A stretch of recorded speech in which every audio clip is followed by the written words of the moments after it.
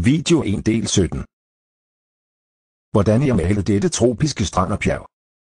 Jeg fortsætter med at male palmer på den side step bag uh, billedet. is to use uh, and uh, I don't have to be uh, very careful so that allows me to freedom to uh, paint this without worrying about Jeg maler en stor palme foran stranden.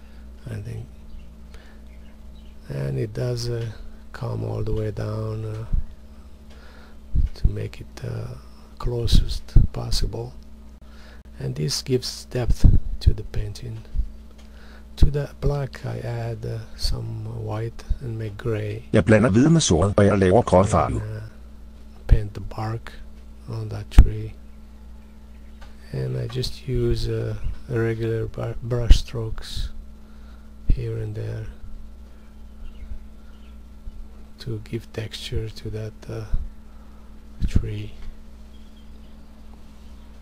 Jeg maler barken af træet the med next grå. step is to paint the leaves, the long leaves, and for that I use a, a small brush and uh, paint the leaves sort of uh, in detail. Jeg maler bladene af dry, med sort. and that allows me to do uh, thin lines like that. And uh, I do that uh, all the way around. Add the leaves all the way around the tree. And uh, Jeg blander gul med blå, og jeg laver grøn farve.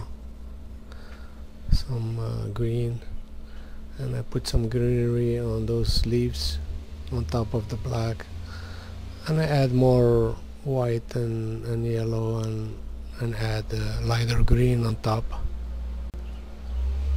Denne lektion fortsætter i den.